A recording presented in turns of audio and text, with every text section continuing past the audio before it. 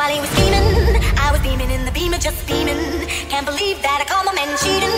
So I found another way to make him pay for it all. So I went to Neiman Marcus on a shopping spree, uh, and on the way I grabbed Sully and Leah. And as the cash box rang, I thought.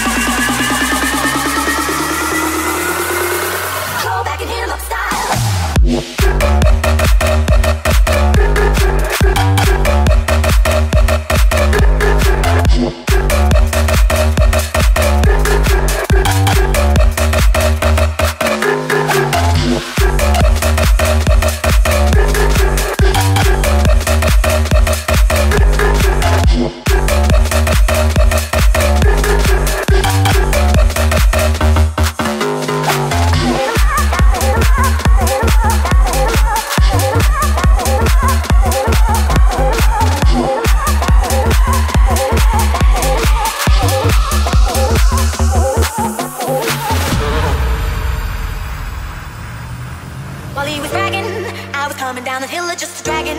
All his pictures and his clothes in the bagging. Sold everything else till there was just nothing left. And I paid all the bills.